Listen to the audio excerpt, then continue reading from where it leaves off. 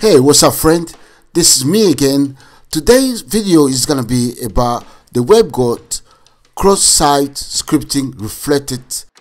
This video is a part of the WebGoat series I did upload in uh, YouTube channel.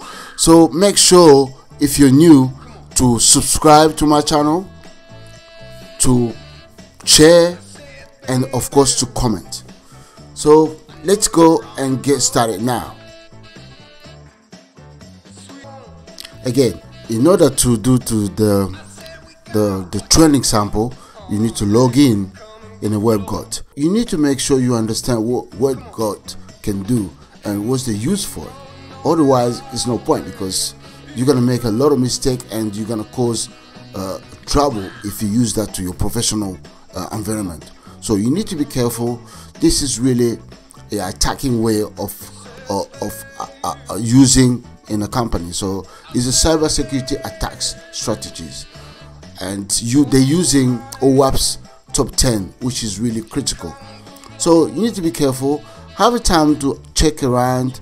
Make sure you understand what you're doing, and if you do it wrong, it could be the consequences for the real life. Make sure you understand the difference. What is cross-site scripting? What it can do and uh, what impact can have. So just check it. Check all the most common location. You can do it. And uh, why should we care for the cross uh, site scripting attack?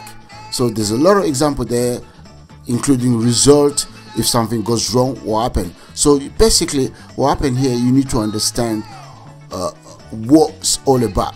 The type like reflecting the base I got another video for that. You're gonna see that very soon. And uh, grabs as much information you can.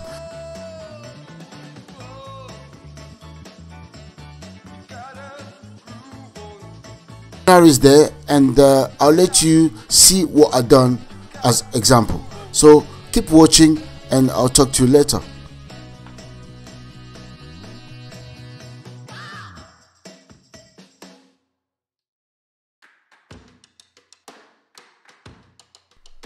right here you can see some of the scenario uh, created by the WebGoat so check really carefully. Well first of all you need to identify the cross uh, scripting flow in application. Send the URL and uh, check the victim and uh, have fun. So I'll let you do the example and try it the reflex cross scripting yourself. So have fun to you soon.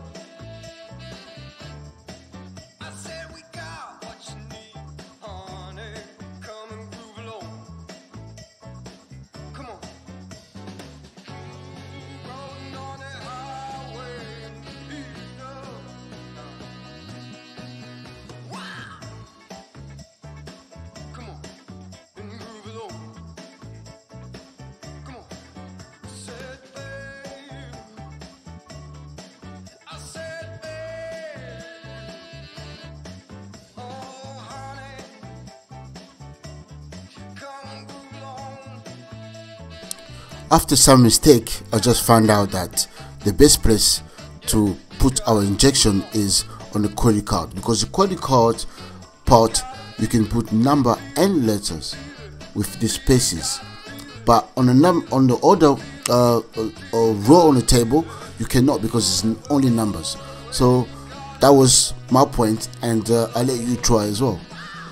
Just try to put it on credit card number and inject your character which is gonna be on your notepad. Let's do it. If you find it so difficult check my example and try to use this code and see the result.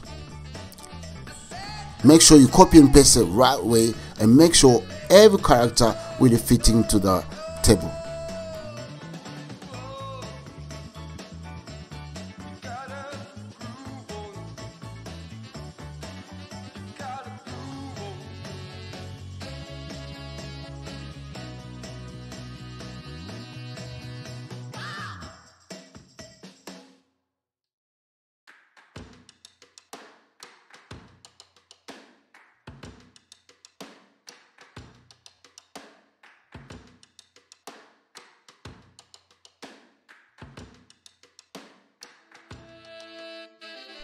there you go. You got the result. So with the message which was in inner injection character.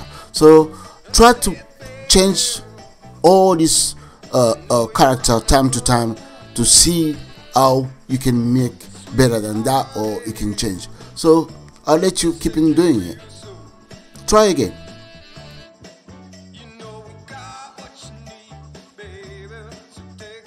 I hope that video was good for you. So don't forget to like it, to comment, and everything else.